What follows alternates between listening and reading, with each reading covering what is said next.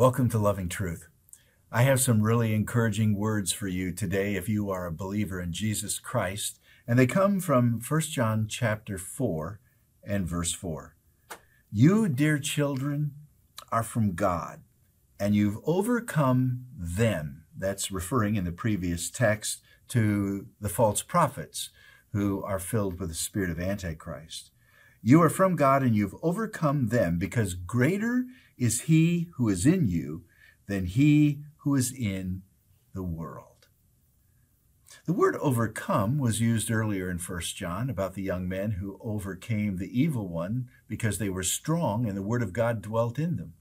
In chapter 5, it's going to talk about uh, our, our overcoming uh, sin and evil and the world because of faith. Faith is the victory. And now we're told it's the Word of God and faith and the power of the one who dwells in us. I like this description. Greater is he who is in you than he who is in the world.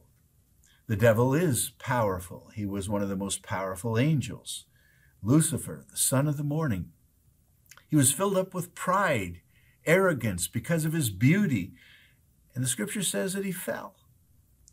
And God uh, cast him out of heaven and sent him to the earth.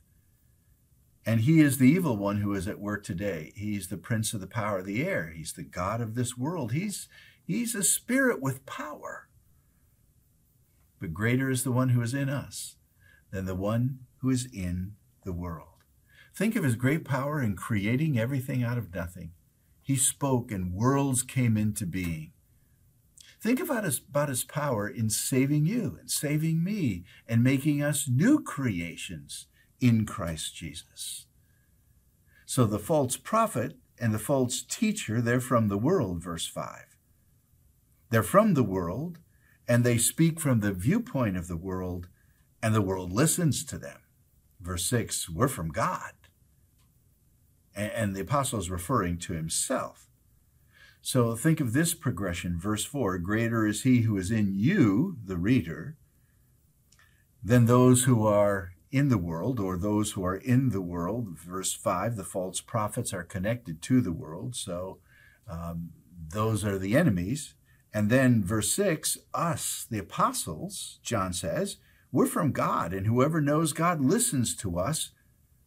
But whoever is not from God doesn't listen to us. And that's how we recognize as we test the spirits, the spirit of truth and the spirit of falsehood. The apostles are the ones who have given to us the New Testament. The prophets have given to us the Old Testament, and it's recorded in the Holy Scriptures. So here's the test of faith, the truth of God's Word. But remember that God Almighty is greater than any other power. No one can equal him. There is no rival. He is almighty. Greater is he that is in you than he that is in the world. Now, the second thing I want to emphasize is that this great one is in you by the Spirit of God. He dwells in us. He made us. The Bible says in Psalm 100 that we are to make a joyful noise to the Lord, know that the Lord is God, that He made us, not we ourselves. We're the, we're the product of His own power. We are the sheep of His pasture. He is the Creator. And then He redeemed us because of love. God demonstrates His love to us in that while we were yet sinners, Christ died for us. And then He indwells us 1 Corinthians chapter 6. Don't you know that your body is the temple of God, the temple of the Holy Spirit who is in you, whom you have from God, and you don't belong to yourself. You are bought with a price. Jesus paid the price on the cross, and now we are the temple of God, and He lives in us. Greater is He who is in you than He who is in the world. Every believer can grab hold of that encouraging promise and know this that as we do battle in this world against the spirit of falsehood, as we do battle in this world from those, uh, our enemy is not flesh and blood, but it's the spirit behind those individuals who promote falsehood. and who have created the culture of the world that is anti God.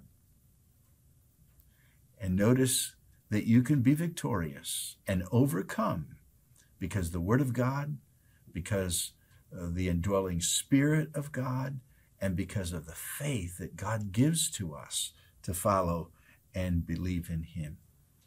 May God give us the grace today to remember that greater is He, the one who is in us, than He who controls the world. Father, we thank you for this encouragement and we, may we take it to heart. This day, may we take it to heart as we do battle with sin and temptation. This day, may we take it to heart as we pray and expect you to do powerful things. This day, we, may we remember this great gift of the Spirit of God given to us by your loving grace. In Jesus' name, amen.